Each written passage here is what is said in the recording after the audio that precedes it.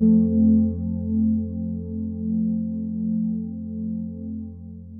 mitt namn är Francesca, jag är 25 år gammal och jag kommer ifrån UK. Uh, eh, jag doktorerar nu på KTH tillsammans med Christer Fuglesang i astropartikel fysik. Jag har valt att doktorera här i Sverige eftersom det var så många intressanta möjligheter uh, med projektet i astropartikel fysik. Också för det var en kul möjlighet för mig att lära mig ett eh, nytt språk och hela kulturen partikelfysiken som jag studerar är studien av de minsta detekterbara partiklar. Um, så det menar partiklar som allt är uppbyggt av och uh, man kan inte se dem med blotta ögon. Ultrahög energetisk kosmisk strålning, uh, mitt ämne i partikelfysik. Um, de är de högsta energipartiklarna som någonsin har upptäckts. Uh, med mer än ett miljoner gånger mer energi än det som nås av partikelacceleratorer på jorden som CERN. Uh, ehm, dessa partiklar accelereras av explosiva astrofysiska händelser utanför vår egen galax.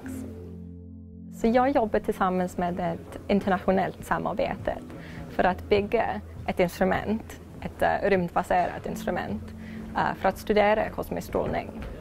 Så dessa partiklar lämnar spår när de interagerar i jordens atmosfär. Och spåren kan detekteras genom ultraviolett ljus som produceras när kväve deexiterar. Eh, mitt arbete tillåter oss att testa tekniken för ett framtida rymdbaserat kosmisk strålning observatorium. Vårt instrument kan också användas för att upptäcka rymdskräp, meteorer och andra atmosfäriska händelser. Så det här ämnet är så intressant för mig eftersom precis som ljuset från avlägsna galaxer um, dessa partiklar bär informationen om deras ursprung och mediet som de färdas för att nå oss på jorden. Um, så på grund av detta kan vi använda dem för att studera vårt universum i ett nytt sätt.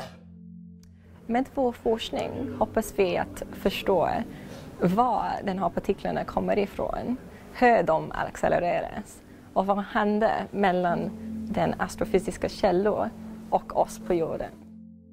Man har lyckats att studera de här partiklarna från jorden förut men nu vill vi åka till rymden för första gången. Då blir det mycket lättare att upptäcka mer partiklar som vi kan få ett mycket större synfält. Det här är jätteviktigt om vi vill ha tillräckligt mycket data att analysera så att vi kommer att kunna förstå de här partiklarna ordentligt. Instrumentet heter MiniUser och ska skickas upp i december 2018 uh, eh, till rymdstationen. Uh, eh, det kommer att stanna där i två år och vi hoppas att samla mycket data. Uh, det kommer vara en väldigt spännande tid i min doktorand och uh, det känns så kul men också jag är himla nervös och uh, har mycket att göra just nu.